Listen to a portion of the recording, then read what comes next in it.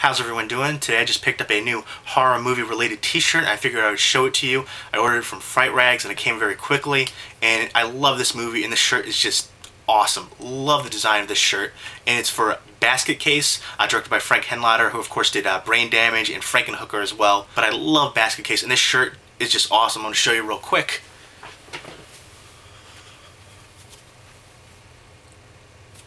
And there's Belial down there.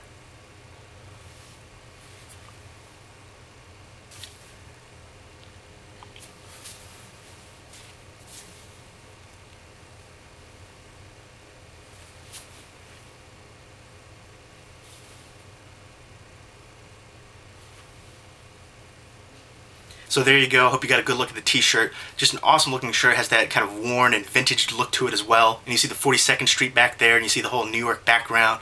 Just awesome looking. And there's just great details to the shirt as well, in the background especially. And you see Belial in the basket as well, very cool looking. So I just want to show you that, and I'll put the link down below to uh, Fright Rags if you want to check out their website. They have awesome horror movie t-shirts. I've ordered from them several times before without issue. Their shipping is fast, and again, great shirts. Just wanted to share this with you guys if you're into horror movies and horror movie t-shirts. So I hope you guys enjoyed that t-shirt. And if you have any horror movie t-shirts yourself, definitely let me know. Hope everybody's doing well. Take care.